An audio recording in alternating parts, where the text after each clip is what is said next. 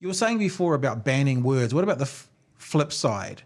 Insisting words get used. The classic example is the Jordan Peterson in the, in Canada, when it was. I mean, I might be paraphrasing poorly, but basically to use incorrect pronouns for someone was going to be a crime. Mm. This is focusing on the transgender community, mm-hmm, mm-hmm. and Jordan Peterson was saying, actually, no, I've. It's, he's a difficult man to understand. Yeah. because I've seen him say two different things. I've seen him say, if one of my students asks me to use a pronoun, I use it.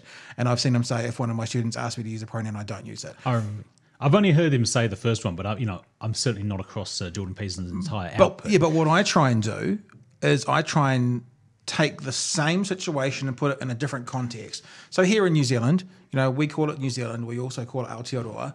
So if the government said from now on calling New Zealand was a crime, if you didn't use the word Aotearoa, you're committing a crime, people would be in an uproar. Everyone would be.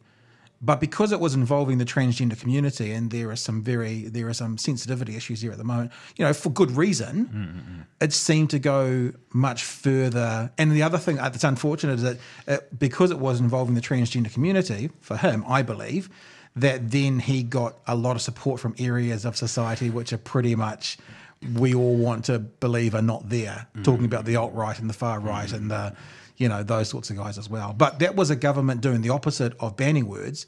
That was a government saying you must use these words. Yeah, I mean, I guess it's it's a bit of both because on the one hand they're banning you from using the wrong pronoun and, Yeah, and so. mandating you have to use the correct one. Um, but yeah, that's that's right. I mean, and Peterson, I take it Peterson. Look, I'm not a Jordan Peterson expert. I take it his his claim, at least now, is that what he was standing up for is not not that he wanted to misgender people, but that he felt that the government had no business legislating that. had no he, he always i think talks about enforced speech. So a government can't and he was i I think again i'm not an expert um, but i do listen to a lot of podcasts and he is around a fair bit. Um, the government can ban language. He didn't seem to have such a problem with that but a government nowhere in the world can enforce language. And that was the that was the difference and i think without the attachment to the to the group he's talking about in this issue, the transgender movement, without the attachment to that group, just that statement by itself, I think most people would go, yeah, I think that's pretty fair.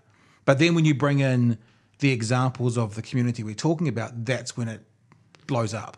Yeah, that's right. And the I'm going to take it the the guiding idea here, and with a lot of this stuff, is the idea that uh, transgender people are harmed in some real way Yeah. by being misgendered. Yeah. that that's a real problem, and therefore the government is, you know, within its rights to to compel people not to do that because it, they're protecting Yeah, sure. that group of people.